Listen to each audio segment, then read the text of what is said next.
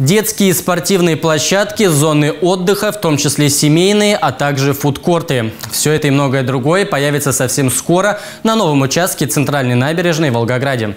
Губернатор Андрей Бочаров и глава Волгограда Владимир Марченко провели выездное совещание по благоустройству и дальнейшему развитию нижней части набережной от мемориального комплекса героям-речникам до моста через Волгу ходе рабочей поездки Андрей Бочаров и Владимир Марченко поставили задачу восстановить памятники и благоустроить общественные территории в историческом центре Волгограда и в прибрежной зоне. Предстоит благоустроить всю аллею героев, обновить верхнюю террасу набережной и соединить части Нижней Бровки новым участком. Работы будут завершены к годовщине Победы в Великой Отечественной войне. Благоустройство нижнего яруса набережной от комплекса героям-речникам до моста через Волгу позволит сделать зону у воды многокилометровым единым комфортным пространством пространством.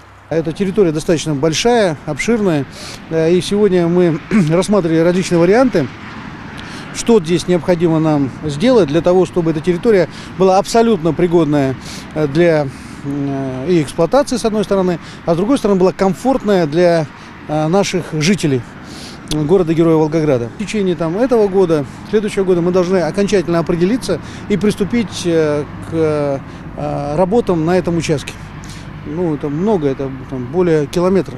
Концепция развития затрагивает широкий спектр потребностей горожан и туристов, включая спортивные площадки, детские зоны, места для отдыха и фудкорты. Территория должна отвечать интересам людей всех возрастов. Андрей Бочаров поручил проработать вопросы об объектах берегоукрепления, которые в том числе не находятся на балансе города, чтобы можно было поддерживать и развивать прибрежную часть. Задача развернуть город к Волге, поставленная губернатором ранее, реализуется в нашем городе поэтапно. Уже обновлена верхняя терраса участка от сквера имени Пушкина до улицы Ковентри. Сформировано единое пространство набережной от Ворошиловского района до Краснооктябрьского. Благоустройство береговой линии будет продолжаться и дальше, на юг и на север. Этот вопрос обсуждался на совещании во время рабочего визита в город-герой Дмитрия Медведева, председателя Федерального оргкомитета по подготовке празднования Сталинградской победы, заместителя председателя Совета безопасности Российской Федерации.